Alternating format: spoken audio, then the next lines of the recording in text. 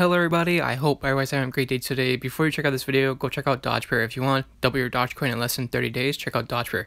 So Dogecoin is actually going up right now. It's actually going up higher than it was yesterday because yesterday a lot of cryptocurrency coins were actually crashing down and then Dogecoin was actually going up while that was happening.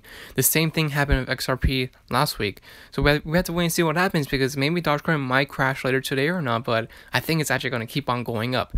But does this mean Dogecoin might go up to a dollar or maybe a penny pretty soon? It might happen because there's a lot of rumors and speculation going on around it saying Dogecoin trying to work with 100 companies or the other way around, 100 companies trying to work with Dogecoin. But if these rumors are true, then Dogecoin could definitely go higher pretty fast. But we have, we to wait and see because if Dogecoin, if companies keep on adding Dogecoin as a paying platform for like apps or you know like even like video services or anything like that or on demand, I think Dogecoin could definitely go higher in value in the future. But we have to wait and see what happens. But I really hope those rumors are true.